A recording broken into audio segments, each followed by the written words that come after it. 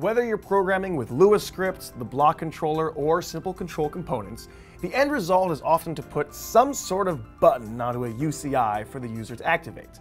Perhaps your button is going to launch your custom script, or maybe be controlled by a script. Whatever it is, you'll need to link those controls somehow to your programming. Well, this will often mean you need to add blank controls to your design. So let's look at how to do that in each of the three methods. As a reminder, there are only a few fundamental types of controls. Buttons and knobs are interactive, while meters and LEDs simply display information.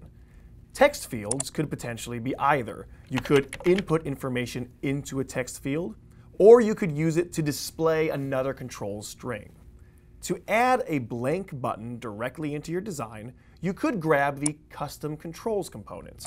By default, it has nothing in its control panel until you define which control you'd like here in the Properties. You can add multiple copies of the same type of button in groups. So let's select a type for our first group.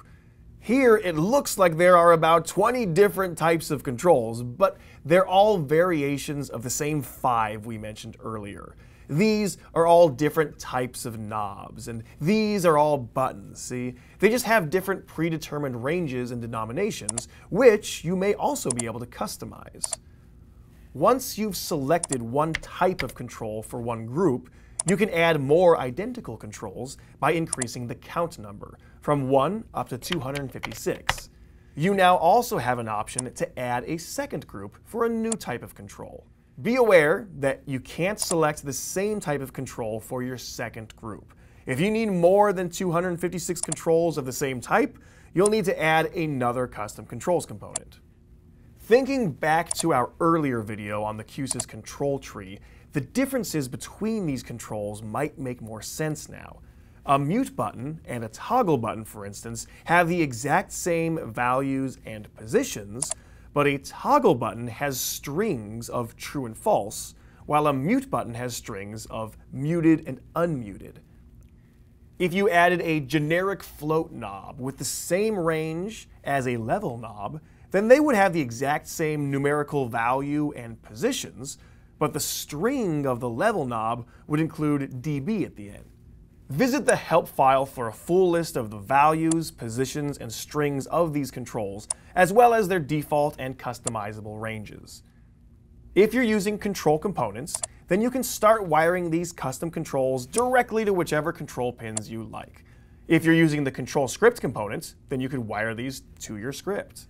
You can then reference that control within the script by using the keyword controls, which is the main object of the control tree, in this case, controls.inputs or controls.outputs, depending on where it's wired. You'll also need to note which pin it's connected to in a bracket, which is known as its index.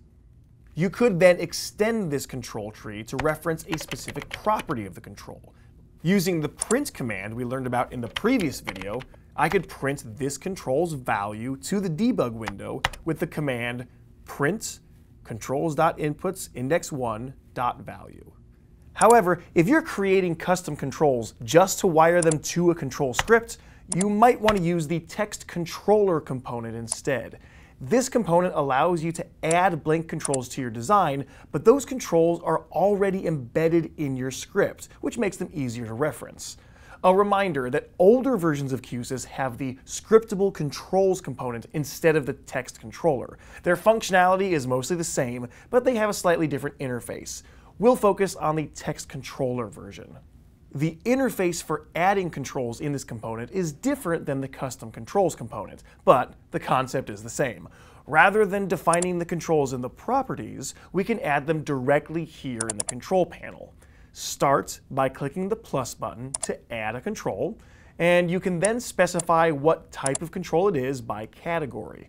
All buttons are grouped together, and then you can define if it's a momentary, toggle, or trigger button. If we select indicators, we'll find our LEDs, meters, and text displays. Personally, I find this organization a little more intuitive than the custom controls we just looked at, because that was arranged alphabetically, whereas these are grouped by function. For controls with a customizable range, you can specify the min and max values. And if you'd like to expose this control to be wired to something else within Q-SYS, you can choose to include an input or output pin, or both, which you'll notice are added to your component in the schematic. You also have the ability to name this control, which I highly recommend you do. Control 1 isn't a great name. You could name it after yourself, Kevin. What? How did I know your name was Kevin? I'm just that good. All the Kevins out there right now are freaking out, and everyone else is like, my name's not Kevin.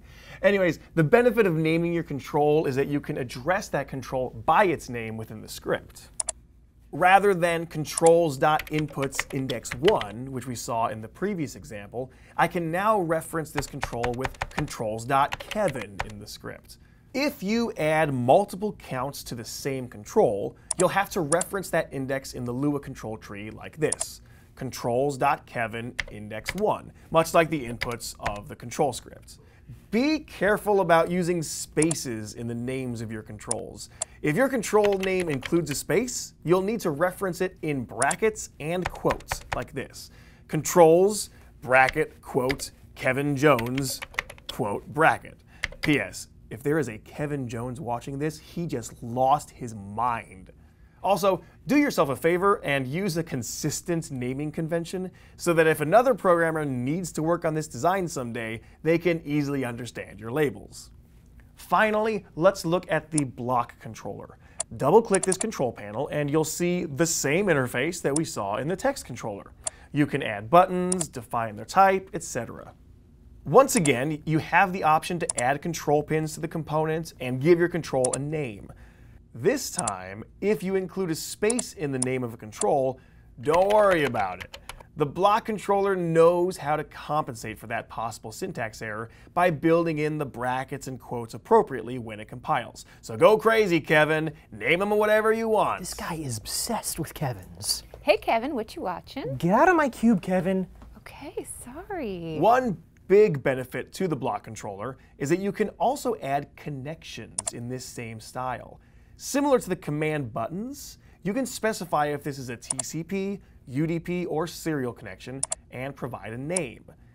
The IP address and port number can be adjusted once you're in emulation or run mode, or if you want to control these dynamically, you can expose control pins for them. Inside the block controller, you'll see these connections listed beneath your controls with new blocks associated with all the possible actions you might perform over a connection like this. We'll look at these connections in a later video. That's it for adding controls. There's a quick exercise in your control worksheet to complete now, and once you're done, move on to the next section, in which we'll look at some of the other control tree branches associated with these controls.